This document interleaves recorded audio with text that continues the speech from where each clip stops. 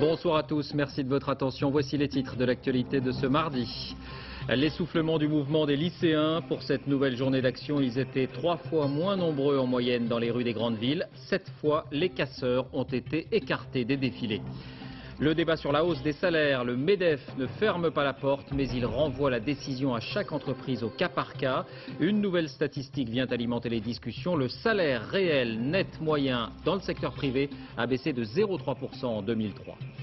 Une fraude au permis de construire à grande échelle dans le quartier de la Défense, près de Paris. C'est ce que soupçonne la justice qui a ouvert une enquête préliminaire.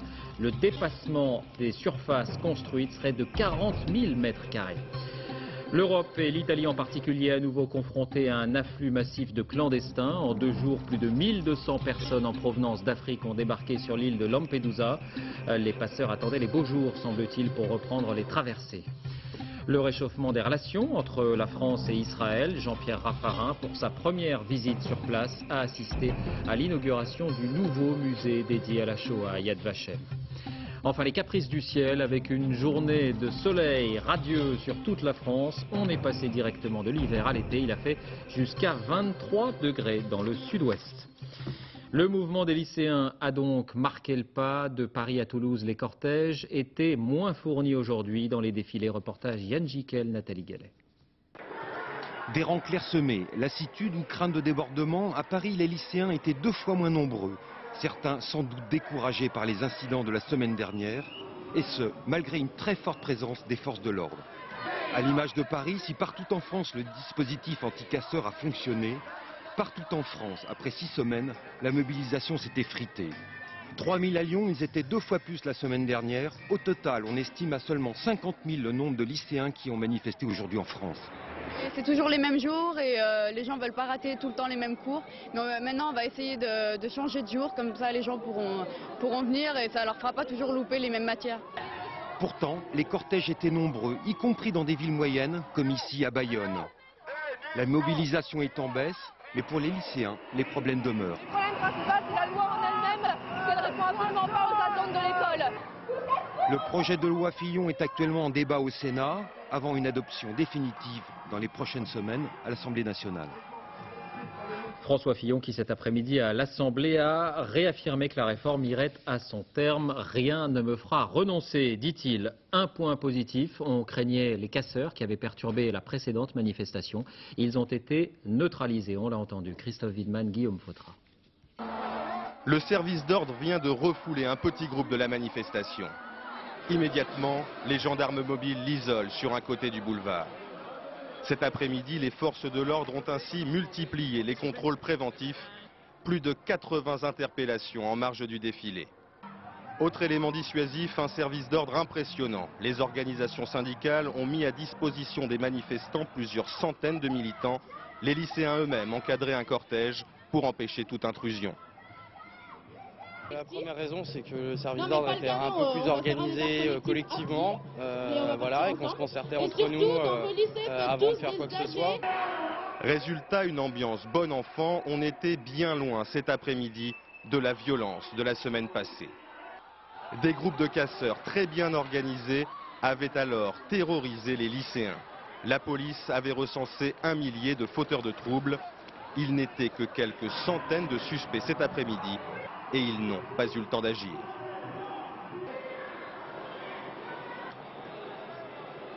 Voilà, et la police qui a procédé à 13 interpellations. L'augmentation des salaires, c'est la grande question du moment. Après les manifestations de jeudi et les engagements du gouvernement, on attendait le commentaire des patrons. Eh bien, le MEDEF est sorti de son silence aujourd'hui.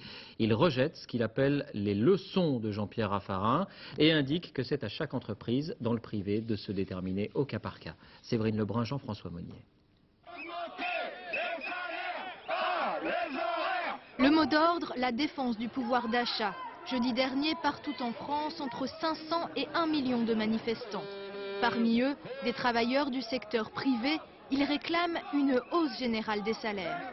Ce matin, le patron des patrons leur répond, des augmentations, il y en aura peut-être, mais ça se négociera au cas par cas. Les entreprises qui le peuvent augmentent les salaires, celles qui ne le peuvent pas ne le font pas, et on ne peut pas donner de mot d'ordre. C'est la compétition. Et qu'on ne lui parle pas d'une baisse du pouvoir d'achat, selon lui c'est une impression, pas une réalité. Et pourtant, d'après la dernière note de l'INSEE, dans le secteur privé, le salarié a perdu du pouvoir d'achat. L'équation est simple. En 2003, les prix ont augmenté de 2,1%, les salaires seulement de 1,8%. Résultat, le pouvoir d'achat du salarié a diminué de 0,3%. C'est une première depuis 1996. Les cadres et les employés du secteur tertiaire sont les plus touchés. En plein débat sur les négociations salariales, cette nouvelle statistique risque de raviver les tensions. Dans ce débat, on l'a dit, euh, l'aspect psychologique est important et les profits affichés par quelques grands groupes alimentent les revendications. Ainsi, une action coup de poing a été menée ce matin par les salariés d'une filiale du groupe Total. Ils sont visés par un plan social qui prévoit 548 suppressions de postes. Yvan Martinet, Mathias Segour. C'est une prise d'assaut au sens propre. 600 salariés d'Arkema, la filiale chimie du groupe Total, s'invitent au siège de leur entreprise. Ils envahissent les locaux.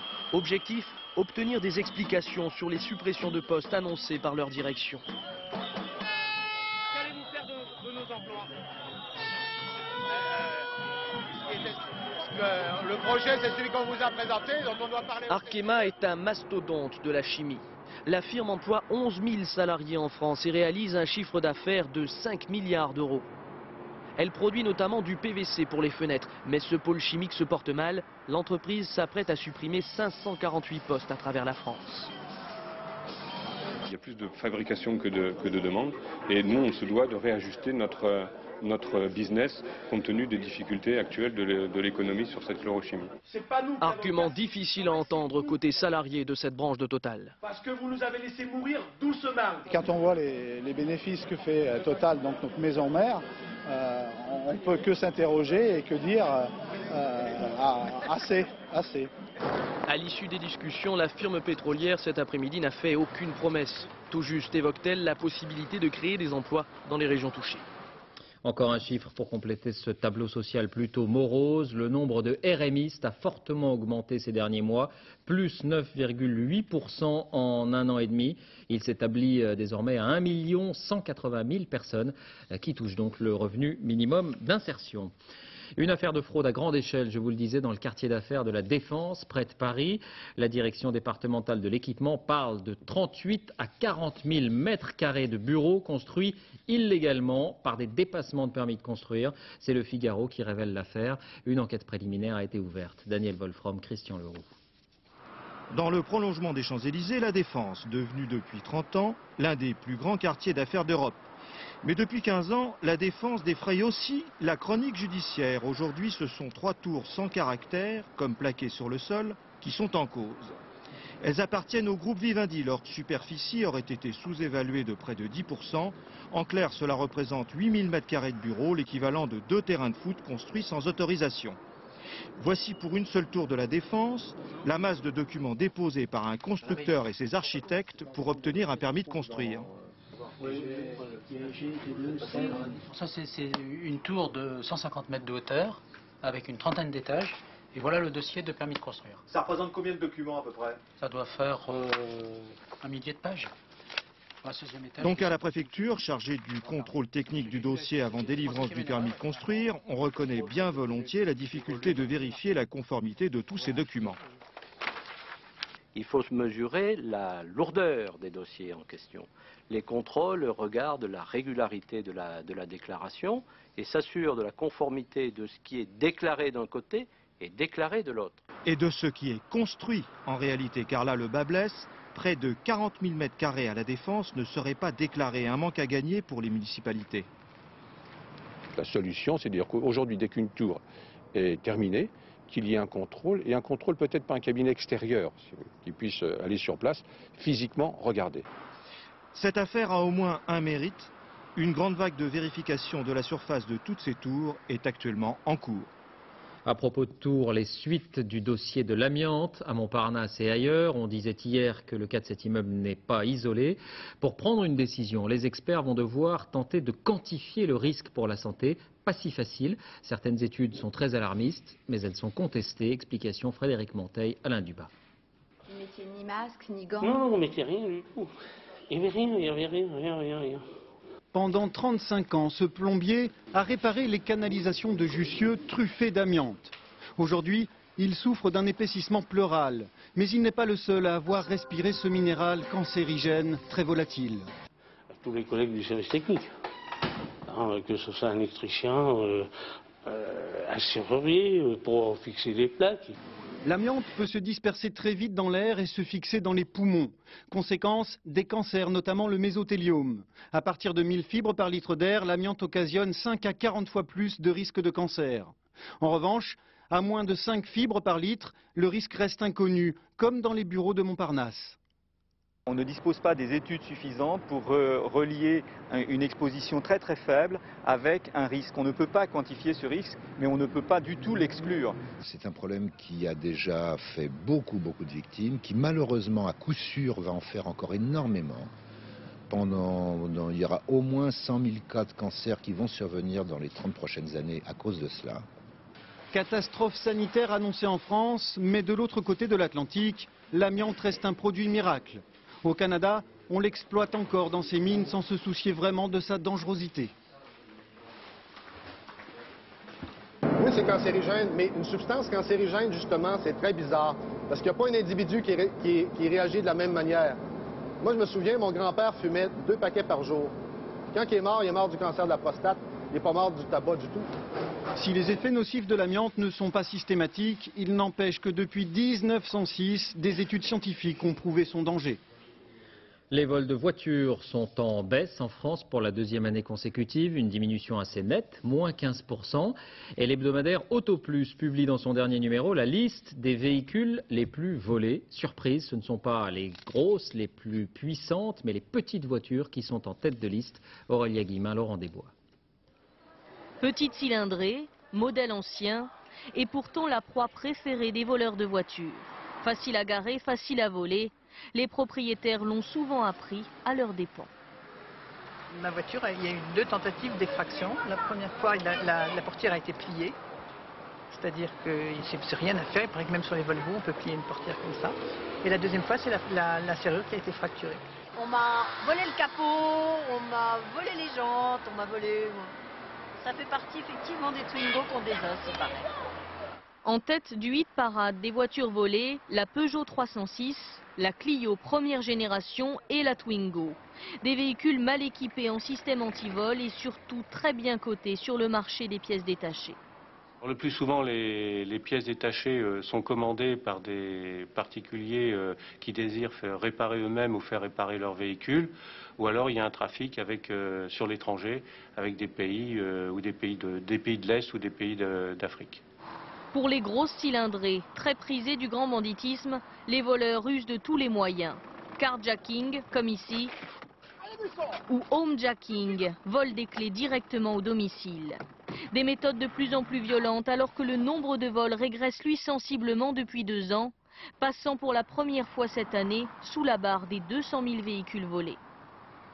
En bref, l'islamiste franco-algérien Jamel Begal a été condamné à 10 ans de prison ferme par le tribunal de Paris. Il a été reconnu coupable de préparation d'attentats contre des intérêts américains en France. Jamel Begal avait été arrêté, je vous le rappelle, en juillet 2001 aux Émirats arabes unis et il avait alors reconnu avoir reçu un ordre d'un des lieutenants de Ben Laden euh, à cet effet avant d'être extradé vers la France.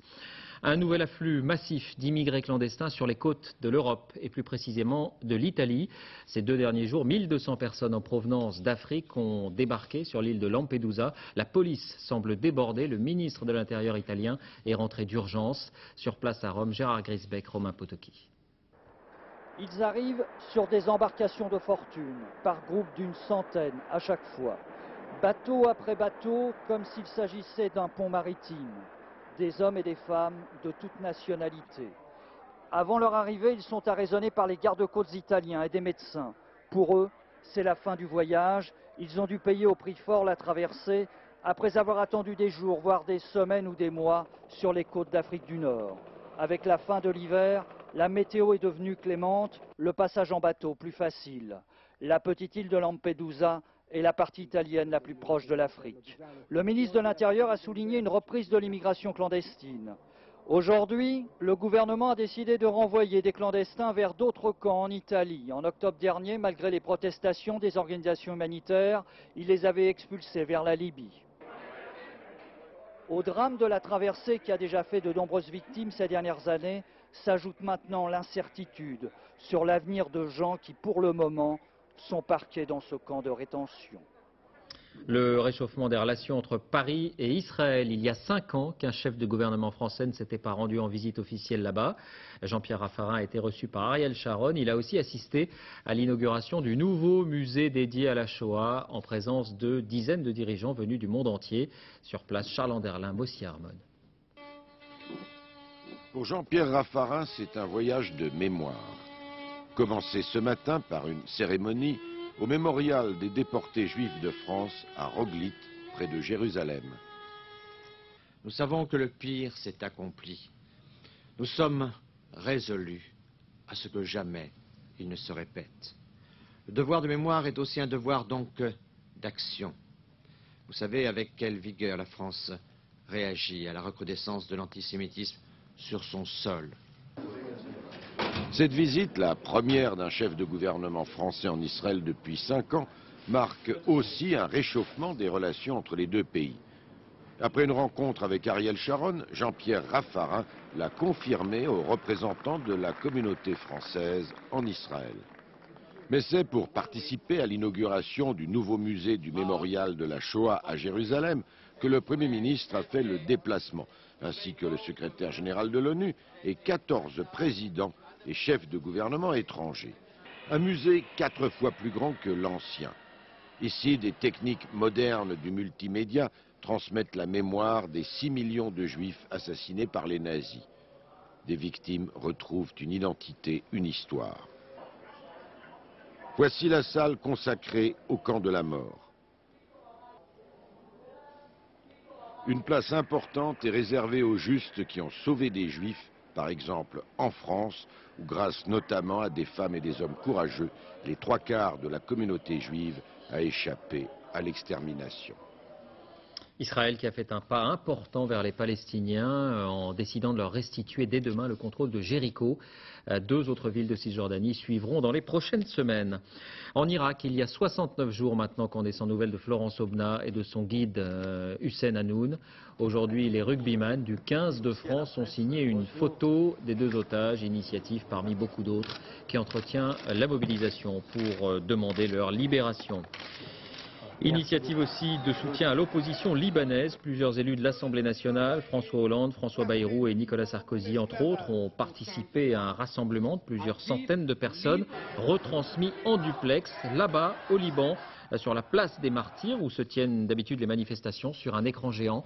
Manifestation pour réclamer le départ de la Syrie. Un repli qui se poursuit après les soldats, les services de renseignement militaires syriens ont commencé à évacuer leur position à Beyrouth, conformément aux promesses du président Bachar el-Assad. Des portraits du numéro 1 syrien ont également été décrochés ou repliés. Alors cette éclaircie au Liban s'ajoute aux premières élections en Irak, en Arabie saoudite ou encore à la reprise du dialogue israélo-palestinien. Un peu partout, un changement semble enclenché au Proche-Orient et dans les pays arabes. Bien sûr, il ne s'agit que d'un frémissement, mais la question est posée, y compris en France. Et si George Bush avait eu raison Et si sa croisade pour la démocratie était en train de porter ses fruits Élément de réponse avec Bernard Lebrun. C'est face à un parterre de militaires et d'experts du Pentagone que le président Bush, la semaine dernière, a connu son triomphe. Pour lui, aucun doute, l'intervention en Irak est la cause d'un printemps politique du monde arabe. Clairement, mais soudainement, le dégel a commencé. Et la presse américaine, sur fond d'images libanaises, de surenchérir en expliquant en quoi Bush a eu raison, sous-entendu, contre l'Europe. Les États-Unis n'ont sans doute pas raison de triompher, mais ils ont raison de dire nous avons transformé la région. Une certitude, le cœur du Moyen-Orient est en effervescence. Mais plus que l'intervention militaire en Irak, c'est incontestablement le courage des électeurs irakiens face au terrorisme qui a fait sauter le couvercle, comme l'a écrit un journaliste américain. Bien sûr, en Arabie saoudite, le timide et tout premier vote des seuls hommes de cette monarchie absolue est interprété comme un progrès. En Égypte, l'annonce par le président Moubarak, au pouvoir depuis 24 ans, d'une possible élection présidentielle pluraliste rassure ceux qui redoutaient une succession dynastique au profit de son fils. À Ramallah ce week-end, le président palestinien élu, Mahmoud Abbas, a annoncé l'impensable il y a encore quelques mois, la participation du Hamas, considéré comme une organisation terroriste, aux prochaines élections. Et puis bien sûr, il y a au Liban depuis un mois la révolution du cèdre qui envahit les rues et les écrans jusqu'aux États-Unis et pour laquelle les adversaires politiques d'hier se sont retrouvés au coude à coude. Il y a quelque chose qui bouge en tout cas au Proche-Orient. Cela veut dire quoi? Est-ce que cela veut dire que c'est uniquement les États-Unis d'Amérique qui ont eu raison? Je ne crois pas, pas qu'on puisse faire ce, ce raccourci. Ils ont été le détonateur de quelque chose. Quelque chose qui pourrait s'appeler un frémissement démocratique. Parti des petits Émirats qui, grâce à leurs puissants médias satellitaires, ont ouvert le débat et apporté la controverse aux dictatures en diffusant leurs images dans tout le monde arabe.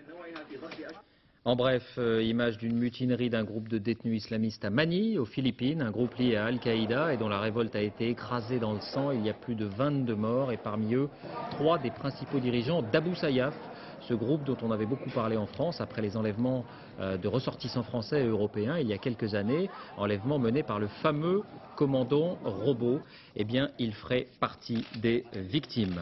En Iran, la condition de la femme à la mode des ayatollahs. La deuxième promotion de femmes policières a été présentée à Téhéran, fusil en bandoulière, mais tchador sur les cheveux. Laurent Boussier. Descente en rappel, course-poursuite en voiture, tir et simulation d'arrestation, la démonstration se veut efficace, même si le port du tchador la rend parfois délicate. Entre la morale islamique qui interdit aux hommes de fouiller ou de monoter des femmes et la nécessité de faire face à l'augmentation des crimes commis par ces dernières, voici donc la deuxième promotion de policières iraniennes. Ce n'est pas seulement la politesse qui me fait dire que les femmes sont plus motivées, plus honnêtes, plus scientifiques, plus précises quand elles font ce travail, c'est le brigadier qui le dit. Prestation de serment à la République islamique, tchador et fusil d'assaut, ces jeunes filles formées pendant 4 ans comme leurs collègues masculins sont contraintes de porter ce long voile noir qui les recouvre de la tête aux pieds. Je suis affirmative. Nous pouvons faire tout ce qu'un homme peut faire. Nous pouvons descendre en rappel sur un immeuble, seulement nous devons porter le tchador. Alors que les hommes, eux, le font en uniforme, ce qui est plus facile. Après plus de 25 ans d'interdiction au métier de policier, cette deuxième promotion est un pas en avant dans la très lente émancipation des femmes iraniennes. Aux dernières nouvelles, un tchador spécial serait même à l'étude pour rendre plus facile les courses-poursuites dans les rues de Téhéran. Une dernière image à l'étranger, celle de Moscou, qui reçoit à son tour, et juste après la France, les inspecteurs du comité olympique. Image ici euh, des sites euh, visités par la délégation. Les Russes se disent convaincus qu'ils ont eux aussi très favorablement impressionné leurs visiteurs. Décision, je vous le rappelle, le 6 juillet. En France, on reparle de la directive européenne Bolkestein sur la libéralisation des services. Toute la classe politique française s'est prononcée contre, mais la Commission européenne vient d'indiquer qu'elle ne souhaitait pas la retirer, mais seulement l'aménager. Un chiffon rouge pour les partisans, du non à la Constitution européenne. Jean-Paul Chapelle, Christian Marimono. Le président de la Commission européenne a-t-il commis une gaffe ou simplement confirmé ses convictions libérales? En tout cas, il persiste et signe. Pour lui, le principe du pays d'origine doit demeurer dans le projet de directive Bolkestein. En clair, un plombier venant de Pologne pour travailler en France serait certes soumis à la réglementation française, mais les charges seraient payées en Pologne et les contrôles effectués aussi en Pologne. Bref, un risque de dumping social qui a déjà provoqué un tollé en France. Aujourd'hui, Jacques Chirac a téléphoné au président de la Commission pour redire que cette directive est inacceptable pour la France et qu'elle doit être complètement remise à plat. En attendant, pour les partisans du non à la Constitution, c'est la confirmation de leurs craintes. Les restrictions à la libre prestation des services à l'intérieur de l'Union sont interdites. Donc en réalité, la directive Bolkenstein elle est dans la Constitution. Et c'est la raison pour laquelle les moulinets de Don Quichotte Chirac euh, n'ont pas d'autre intérêt que médiatique. Les partisans du oui ont vu le danger et réclament le retrait pur et simple de la directive. Nous refusons euh, l'harmonisation sociale par le bas. Euh, la législation du pays d'origine qui s'appliquerait pour des salariés travaillant dans un autre, euh, dans un autre pays, c'est inacceptable. À Bruxelles, le commissaire français est visiblement embarrassé. Rien n'est euh, décidé. Par conséquent, pourquoi mettre cette passion? En vais vous dire, je vais vous le dire, c'est qu'un certain nombre de partisans du non en France se sont emparés de cette affaire pour brouiller le débat sur la Constitution. Le compromis sur la fameuse directive devrait donc être reporté après le référendum français sur la Constitution. L'inauguration à Bondy en Seine-Saint-Denis de la première vraie mosquée euh, du département où les musulmans sont pourtant très nombreux. Ils priaient jusque-là dans des caves ou des locaux improvisés. De nombreuses personnalités assistaient à la cérémonie. Le bâtiment a coûté un million et demi d'euros. Il a été entièrement financé par des dons de fidèles.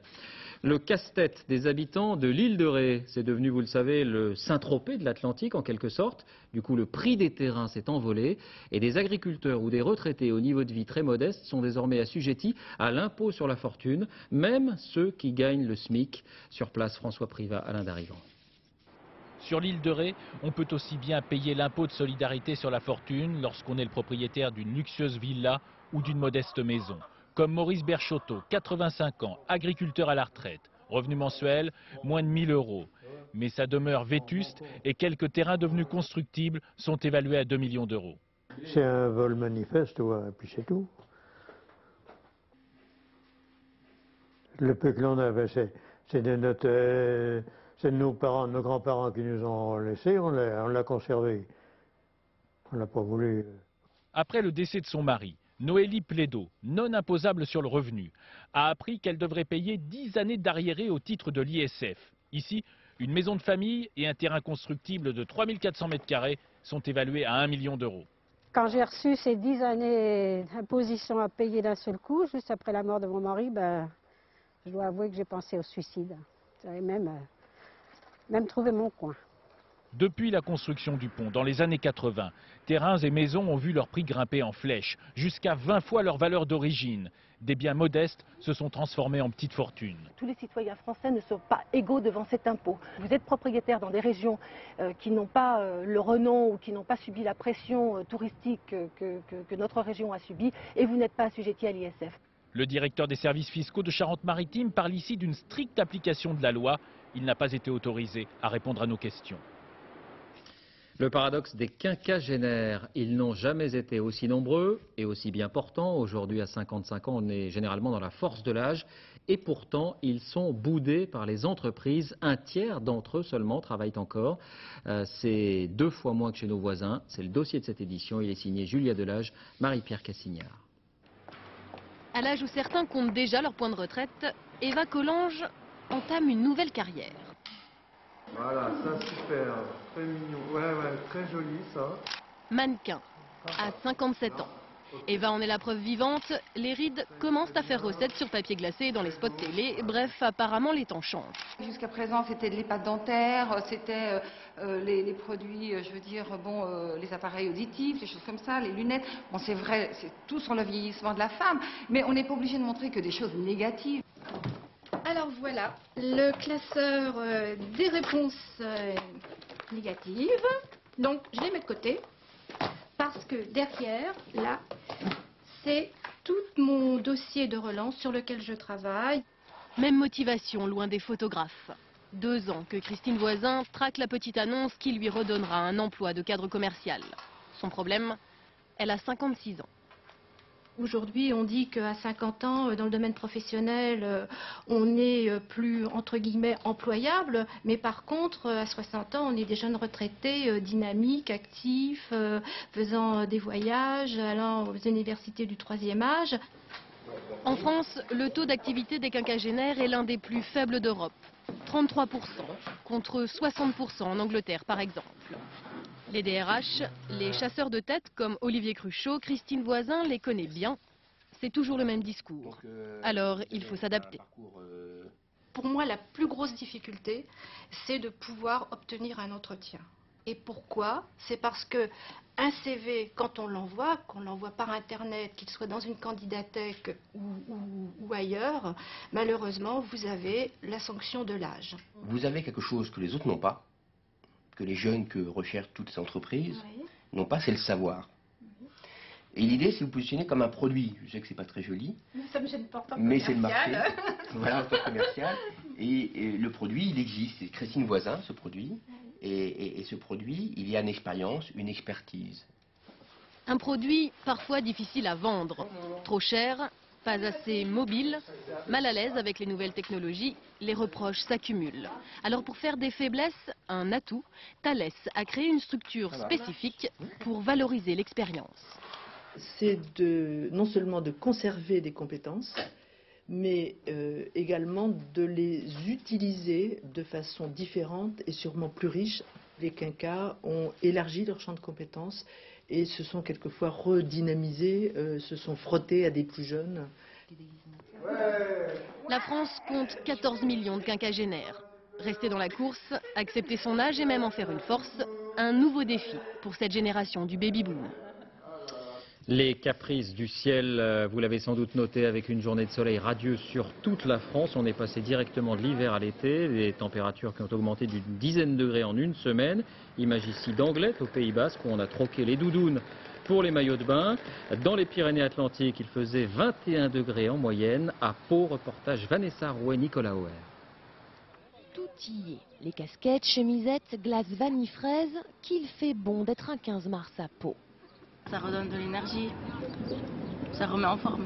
En forme et en appétit, mais sous le soleil, car à l'ombre il ne fait que 23 degrés, aux oubliettes les manteaux d'hiver. Moi le col roulé, le froid, la neige, j'en avais mais jusque là, mais jusque là. Alors ça fait vraiment du bien de se retrouver euh, dans la chaleur tout d'un coup comme ça à trois jours d'écart. Le, printemps est souvent, euh, nous réserve souvent des températures froides ici, donc euh, on va pas crier euh, hurrah de suite. Hein.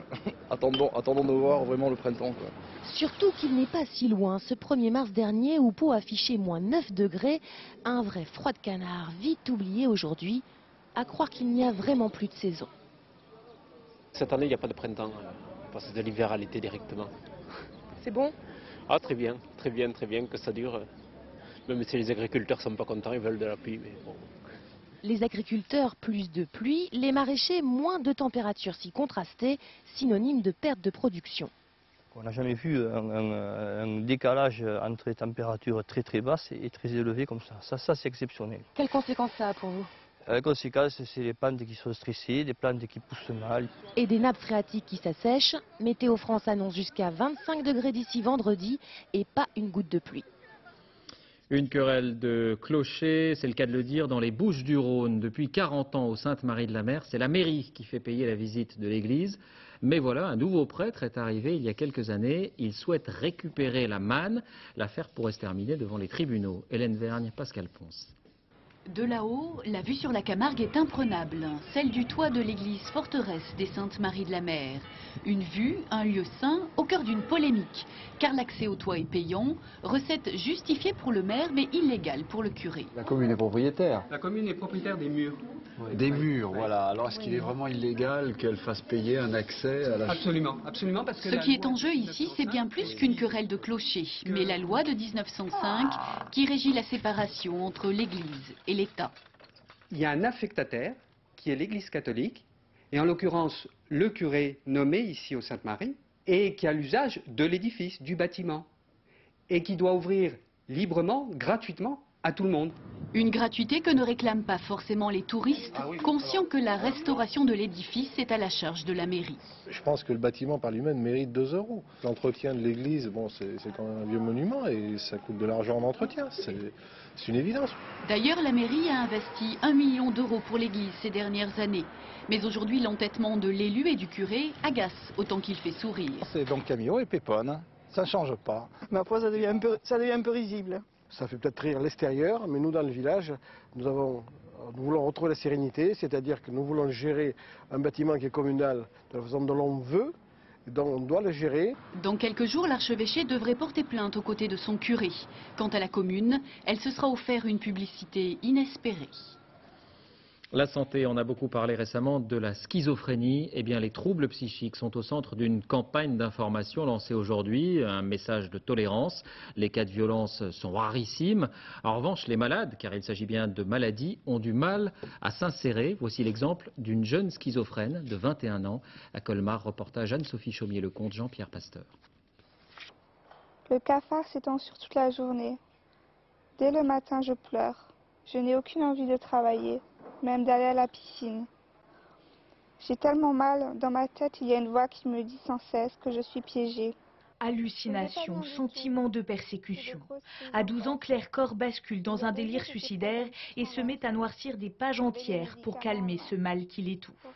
C'est comme si une autre tenait la plume lors de ces crises qu'elle raconte.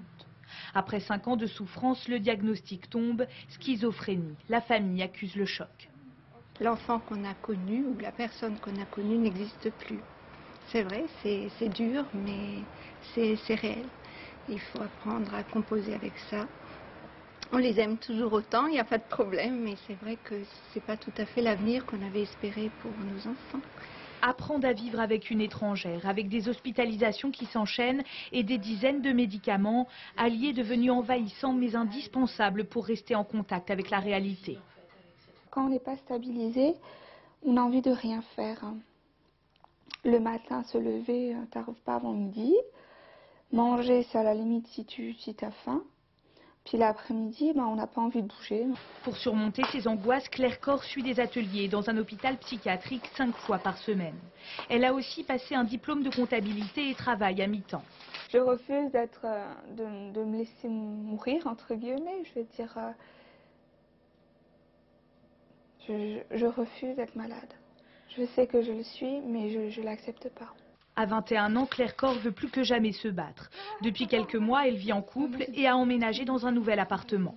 Dix ans après les premiers symptômes de la schizophrénie, elle a enfin retrouvé le sourire. Bah, L'environnement avec la journée mondiale de lutte contre la chasse aux phoques. Elle va reprendre à la fin du mois au Canada. Près de 300 000 animaux seront tués cette année. Les pratiques des chasseurs sont mieux encadrées, mais elles restent violentes, trop, selon les défenseurs des animaux. Sophie Rodier. On parle de leur massacre depuis 30 ans, mais rien ne change. À coups de gourdin ou de pic à glace, les phoques de la côte est du Canada sont toujours chassés. Les bébés pour leur peau, les adultes pour les huiles. En 2003, les autorités canadiennes ont même augmenté leur quota. Cette année, près de 320 000 jeunes phoques devraient ainsi être tués. La chasse aux bébés phoques canadiens est le plus grand massacre de mammifères marins au monde. Elle se déroule à un rythme très soutenu. Les chasseurs peuvent tuer jusqu'à 60 000 bébés phoques par jour. Aujourd'hui, les phoques ne sont pas menacés d'extinction. De plus en plus nombreux, on les accuse d'être trop gourmands et de vider les stocks de poissons. Mais ce qui indigne les associations de protection de la nature, c'est la cruauté avec laquelle ils sont tués. Taper avec une massue pour tuer des bébés phoques, c'est exactement la même chose que donner des coups de marteau sur la tête d'un chiot. C'est totalement illégal. C'est contre cette cruauté qu'un peu partout dans le monde, des militants ont manifesté cet après-midi comme ici à Nice, où ils étaient quelques dizaines. Sport de la voile avec un nouveau record sur le point de tomber. Pour Hélène MacArthur, c'était le Tour du Monde en solitaire. Cette fois, il s'agit du Tour du Monde en équipage, toujours sans escale. Un Tour du Monde en 50 jours. Bruno Perron et ses hommes vont couper la ligne cette nuit au large de la Bretagne. Julien Benedetto. Même dans ses rêves les plus fous, Jules Verne n'y avait pas songé. Bonnet au vent, capitaine Perron achève à 60 km heure un tour du monde éclair. À la barre d'un catamaran de 38 mètres, les 14 équipiers d'Orange 2 n'ont jamais ralenti la cadence, malgré la tempête du Cap Horn, malgré les icebergs. Cette nuit vers 2 heures, ils devraient franchir la ligne d'arrivée fictive avec une semaine d'avance sur le chrono de Steve Fossett, record pulvérisé. On ne sait pas trop si on a envie d'arriver ou si on a envie de continuer. C'est toujours cette espèce de de, sentiments assez étranges. Euh, c'est trop tôt pour tirer un bilan. Euh, on est tous euh, un petit peu dans un tourbillon. Et personne à bord pensait qu'on pouvait faire le tour de la planète en, en 50 jours. 46 000 km en 50 jours, inimaginable en 1993 lorsque le jeune Bruno Perron boucle le premier tour du monde en équipage et sans escale en 79 jours. À l'époque, après 50 jours de mer, Perron et son Commodore Explorer n'avaient même pas franchi le Cap Horn. Quant à Steve Fossett, détenteur du précédent record, il naviguait encore au large du Brésil 50 jours après son départ. Orange de lui en a presque terminé. En 12 ans, l'aîné des Perrons a donc amélioré le record de près d'un mois. Et pourquoi pas descendre sous la barre mythique des 50 jours? Les héritiers de Jules Verne n'ont pas fini de nous étonner. Voilà, cette nuit, donc vers 3 heures du matin, rugby, on connaît la composition de l'équipe de France qui affrontera l'Italie. Aucun changement par rapport à la formation qui s'est imposée en Irlande, avec une incertitude toutefois euh, concernant la révélation, Benoît Babi, qui avait donné un coup de tête à un joueur irlandais samedi dernier et qui doit donc passer devant une commission de discipline. Il risque jusqu'à un an de suspension, verdict demain. France-Italie, euh, la dernière journée du tournoi Destination, c'est à suivre sur France 2 samedi à partir de 14h avec une réalisation signée bien sûr Jean-Marc Lénoret. Du cinéma pour terminer avec la sortie demain de Hitch, une comédie américaine. À l'heure où toutes les disciplines ont leur coach, Will Smith donne des cours de séduction. Isabelle Béchler, Carole Gréco. Comment aider un conseiller financier au physique ingrat à séduire une riche héritière pour qui il travaille Pourrais-je vous parler un instant Allez ouvrir la porte, C'est le défi quotidien que relève Hitch, alias Will Smith, l'expert en séduction. Ça va? Un problème? Écoutez, Albert, c'est ça? Euh, D'habitude, les gens ne s'adressent pas à moi sur ce ton. Vous comprenez? Je vous donne mon numéro. Vous avez un stylo? Ange gardien et coach, il met son client sur les rails. Oui, je t'en ai un. Il est question d'arriver à distiller habilement sa vraie nature, malgré ses défauts. Bonjour, c'est Albert Brenneman. Bonjour, comment allez-vous?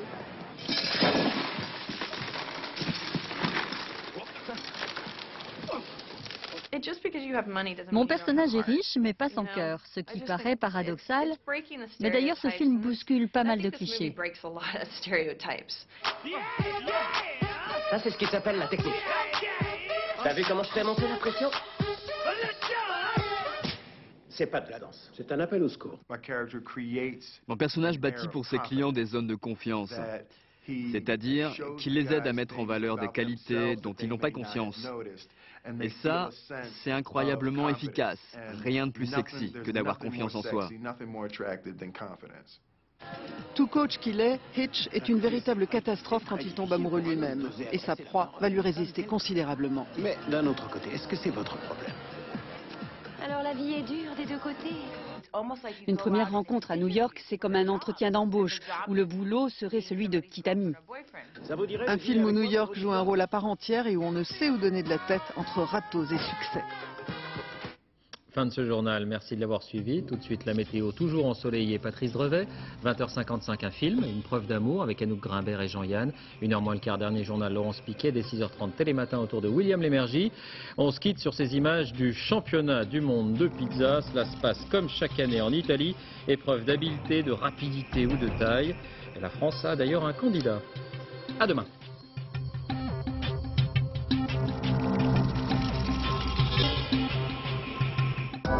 Votre soirée